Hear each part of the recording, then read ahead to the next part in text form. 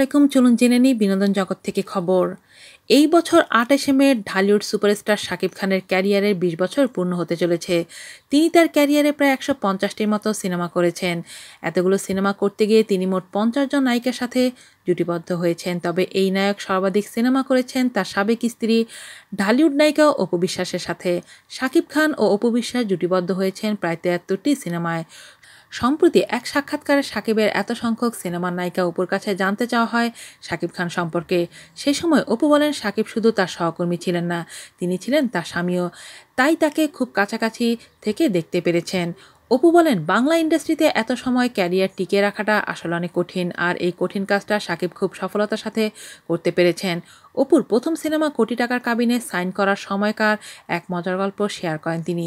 তিনি বলেন, সাকিবের নামে অশ্লীল সিনেমা করার অভিযোগ শুনেছিলেন, তাই তার পরিবারে কেউ রাজি ছিলেন না সাকিবের সাথে জুটিবদ্ধ হয়ে কাজ করতে দিতে। অপুর মা নাকি তখন প্রডিউসারকে বলেছিলেন সাকিবের বদলে রিয়াজকে নিতে সাকিব খানকে নিয়ে এত কিছু বলার পর তিনি একটি কষ্টের কথা বলেন। তিনি বলেন, সাকিব খান যখন তার সাথে ছিলেন, তখন বরাবরই উপবিশ্বাস বলতেন, তুমি ক্যারিয়ারের এমন মাঝপথে ব্যক্তিগতভাবে তোমার আর উপরে ওঠার জায়গা নেই। এবার ইন্ডাস্ট্রিকে উপরে তোলার কথা ভাবো। অপু জানান, তার এই কথায় সাকিব প্রতিবারই সাই দিয়েছেন। কিন্তু আজ পর্যন্ত সেটা তিনি করেননি। সাকিব নিজেকে নিয়েই ভাবছেন। ইন্ডাস্ট্রিকে কীভাবে দাঁড় করানো যায় সেটা তিনি ভাবছেন না।